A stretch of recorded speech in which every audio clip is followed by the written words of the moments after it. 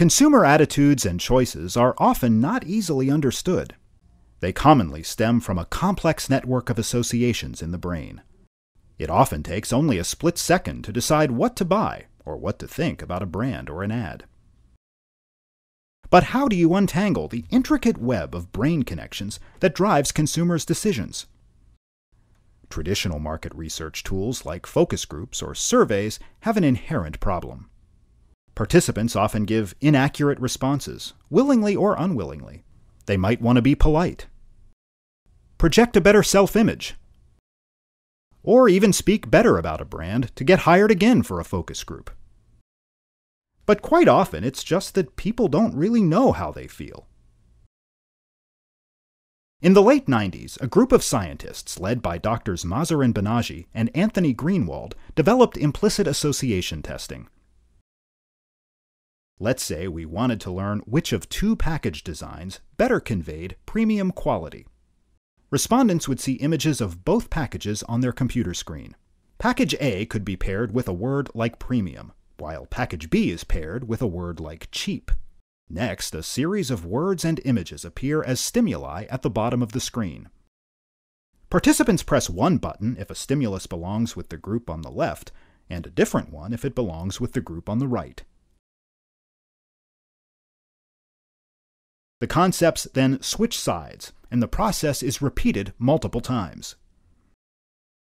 Responses are timed to the thousandth of a second to collect nearly 1,000 data points for each respondent. If consumers respond more quickly and accurately when package A is paired with premium than when package B is, we can say package A conveys premium quality better than package B, and most importantly, we can say how much better. The market is flooded with proprietary quant methods that claim to gather data about subconscious consumer attitudes. The problem is that more often than not, these tools come in a black box, when it comes to the soundness of their method, you basically have to take their word for it. In contrast, Olson Zaltman's implicit association test, or IAT for short, is completely transparent.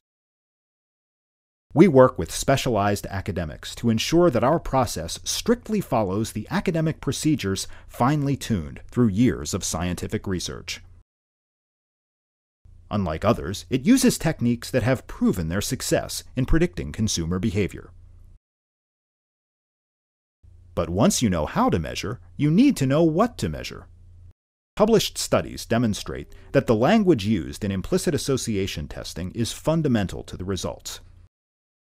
This is where Olson Zaltman's ZMET process comes in.